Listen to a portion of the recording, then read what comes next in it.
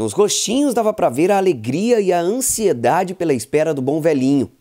Crianças que fazem parte do CEMEI Ayrton Senna receberam no último sábado a doação de presentes que foram arrecadados na campanha das cartinhas do Natal Solidário deste ano. E olha que o Papai Noel não veio sozinho não.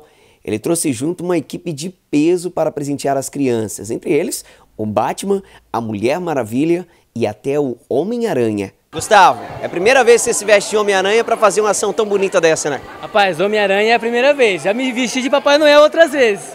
Mas Homem-Aranha é a primeira vez, hein? Como é que é a sensação de poder fazer, ver o sorriso da criança ao receber o brinquedinho? Cara, não tem preço. Não tem, não tem palavras para entender um negócio desse. É muito gratificante, é uma sensação muito boa. A campanha dos Correios já se tornou tradicional. Todos os anos acontece em todas as instituições espalhadas pelo Brasil.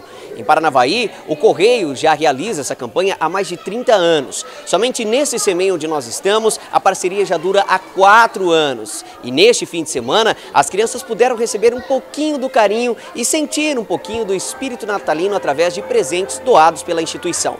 Isso, é uma campanha que vem acontecendo há muitos e muitos anos, né? Com o Correio e as parcerias com algumas empresas. É, esse ano a gente contemplou mais uma vez aqui a escola, né? O CEMEI Ayrton Senas, e mais algumas outras escolas que também participaram da, da campanha e aquelas cartinhas da sociedade que, né, que foi disponibilizado no blog, fisicamente na, na, agência. Então, mais um ano finalizando aí com sucesso essa campanha.